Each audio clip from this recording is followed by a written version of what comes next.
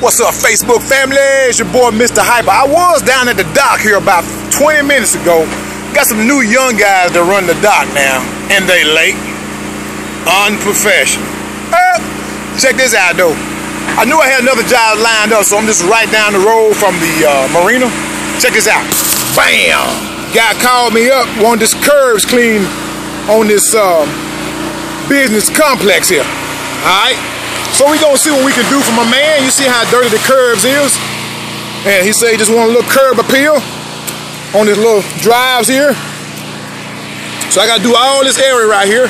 And you telling yourself, well, it's gonna take you a minute, Eric, right? Not really, you just gotta have the right equipment, baby. Right equipment.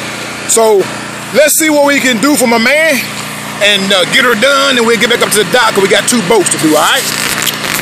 So, if you looking for work, man, I'm telling you, you can find it. You just gotta know what your niche is. I'm telling you, don't give up, baby. I know you get depressed because you can't find what you want. Get what you can until you can find what you want. Deuces.